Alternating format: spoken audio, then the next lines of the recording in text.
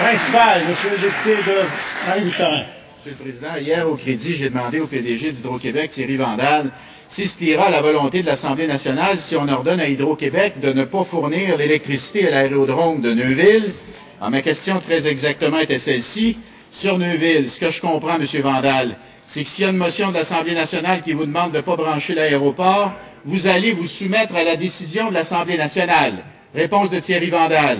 C'est certain qu'on le regarderait dans cette perspective-là. Je peux vous assurer qu'on est très sensible à la perspective qui est avancée par, les parlementaires et qu'on va regarder ça dans l'optique que vous suggérez.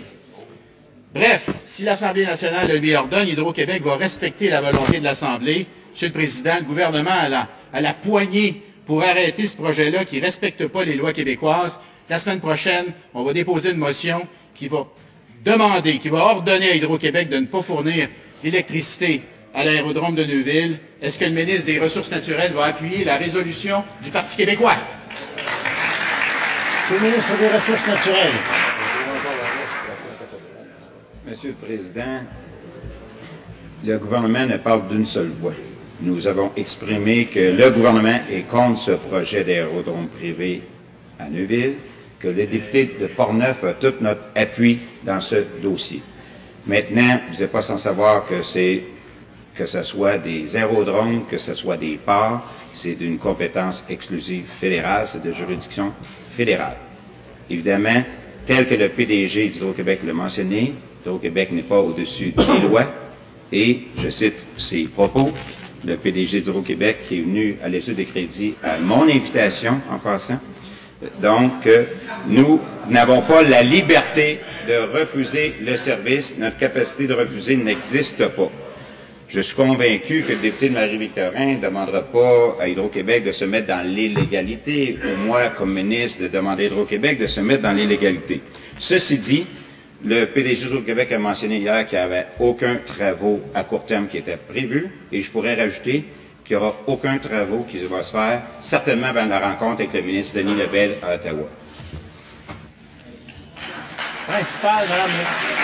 Complémentaire, Madame la députée de. Les gens de Neuville, ils ont avec eux la loi de la protection du territoire agricole. Ils ont les lois en affaires municipales et en occupation du territoire. Ils ont avec eux le maire de Neuville, les maires de la région. Ils ont avec eux la FQM. Et hier, ils avaient avec eux Hydro-Québec. La France était très claire.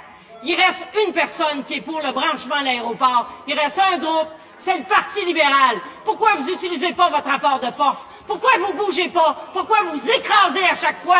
Debout! Il y a un rapport de force pour les gens de Neuville. Utilisez-le. Pourquoi vous...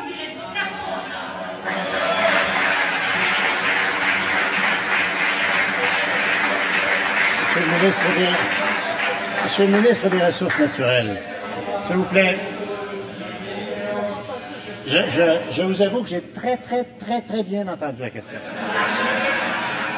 J'aimerais entendre la réponse. Euh, Monsieur le Président, je respecte euh, votre euh, opinion. Vous avez très, très, très bien entendu, je vous dirais, de ce côté-ci, qu'il y avait beaucoup, beaucoup de bruit de fond. J'oserais pas demander de répéter la question. Je pense savoir, je pense savoir à peu près c'est quoi la question qui a été posée, de mais de façon très calmement. Je pense que c'était très clair euh, ce que j'ai mentionné en première réponse, c'est-à-dire que le gouvernement est contre ce projet. Le député de Portneuf a tout notre appui. C'est quand même de juridiction fédérale exclusive comme les parts. Le président d'Hydro-Québec a dit qu'il devait respecter les règlements. Ceci dit, il n'y a rien qui va se faire dans ce dossier avant la rencontre avec Denis Lebel à Ottawa.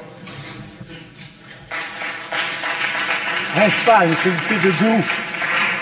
Merci, Monsieur le Président. Selon un article paru dans le TVA Nouvelle du 11 avril dernier, écrit par Mme Ève Lévesque,